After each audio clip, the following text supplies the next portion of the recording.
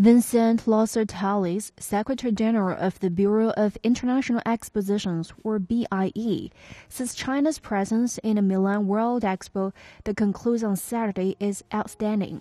Loscertales says China has as many as three pavilions in a six-month event, a national pavilion and two corporate pavilions. He notes it is the first time that he sees the country having such an important and active participation in an expo. He adds that he is impressed by China's national pavilion. Well, China's participation in this Milan Expo is brilliant.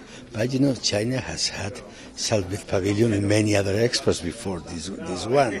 But in Milan, I think the pavilion has a very attractive shape, which is, you know, in the China tradition uh, of the rural architecture, but also, you know, it's a very modern building, very functional, and also with the they have done lots of activities. Chinese provinces have been present in the expo, and in general, you know, they, I think the Chinese presence in the expo has been one of, of the best.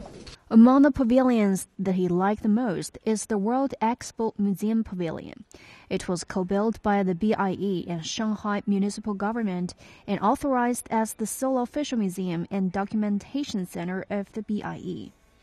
Earlier this week, a 25 meter long wall from the Expo Milano 2015 was donated to the Shanghai based World Expo Museum.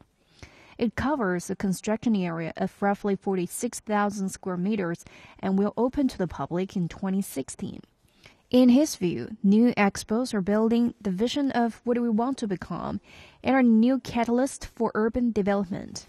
For example, for the first time in the history of world expositions, the Milan Expo is accompanied by a project, Expo in the City. It points out the project involves the entire city with thousands of activities, expositions, concerts, and initiatives for all citizens. A new new expos are exactly to build the vision of what we want to become, not what we are, but what we want to become. And I think this is a very new element. Also, expos have become you know, catalysts for urban development. An expo cannot be successful if it doesn't transform the city. And I think that now expos have to be linked to the city more and more.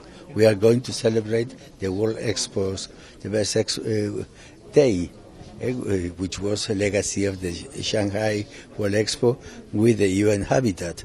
He explains that World Cities Day is designed with the general theme of Shanghai Expo Better City, Better Life every October 31st by the United Nations. It aims to push forward cooperation among countries in contributing to sustainable urban development around the world.